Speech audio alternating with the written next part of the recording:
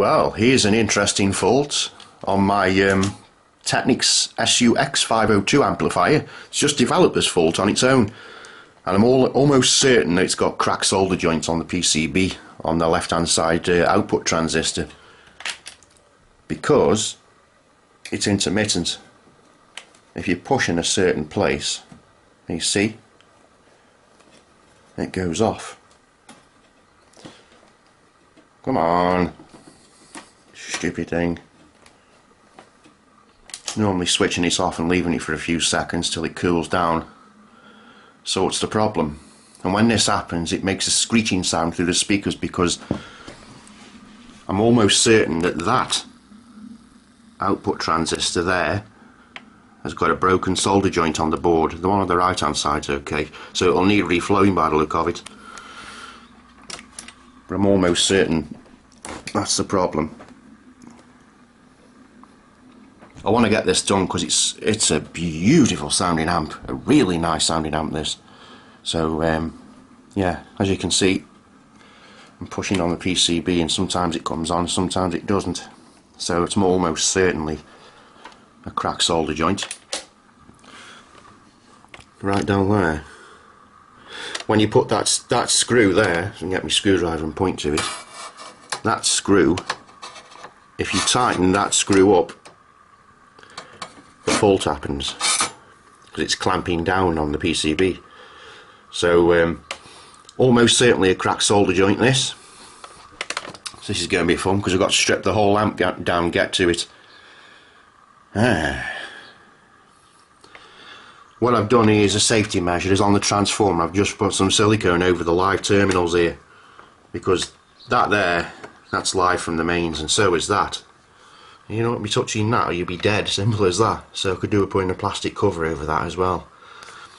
Um, yeah that needs doing. That's a certainty. I do need to do that. Um, but that yeah that is almost certainly a crack solder joint. Because as you say as you wobble it there you go, it comes on.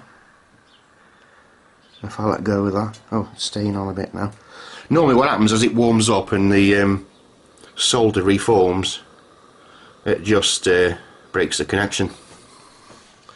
So that needs doing. But as I say wow this sounds amazing this thing on me on me um, Wharfedale Diamond speakers. Really nice sounding amp. On par and if not better than my Sony actually. Because it's got um, I'll switch it off at the front a minute at the back which Technics recommend that you only use this switch for their speakers but I don't know why they've said that because it's worked on every speaker I've tried it on.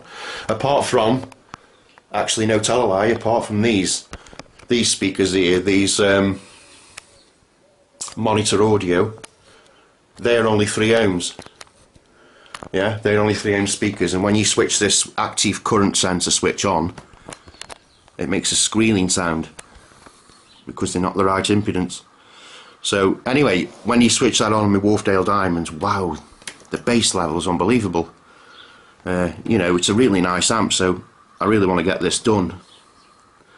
You know so if it's just a cracked solder joint which more than likely it will be it's not any particular fault with this amp just that little problem. And uh, like I say though I've got to strip all the old board down to sort this problem. I've permanently these get hot and I'm not joking these get hot.